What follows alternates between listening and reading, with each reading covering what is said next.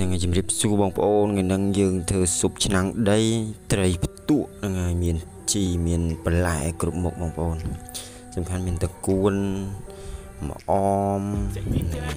ជីវងជីអាណាហ្នឹងហើយផ្សិតហើយយើងធ្វើបែបកូសាបងប្អូននេះសាច់ត្រីផ្ទក់បងប្អូនអើយស្រស់ស្រស់ ហើយមីហើយផ្សិតផ្សិតឃើញទេជាណានឹងឲ្យទឹកជ្រលក់នេះនេះនេះទឹកជ្រលក់ធ្វើពីដៃផ្ទាល់តែម្ដងនឹងនេះតម្រង់ពេញបងប្អូន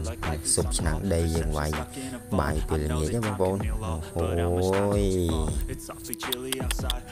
នេះទឹកស៊ុបយើងធ្វើពីយើងធ្វើពីឆ្អឹងឈូកហើយនឹងសាច់ឈូកបងប្អូនហើយផ្សិតហើយត្រីផ្ទក់ជាផ្ទក់នៅស្ទះក្រោយបឹងក្រោយហ្នឹងហើយអរគុណបងប្អូនថ្ងៃនេះមានតែប៉ុណ្្នឹងស៊ុបឆ្នាំងដីបងប្អូនហ្នឹងហើយសូមអញ្ជើញទស្សនាវីដេអូឃ្លីបខ្លីៗហើយ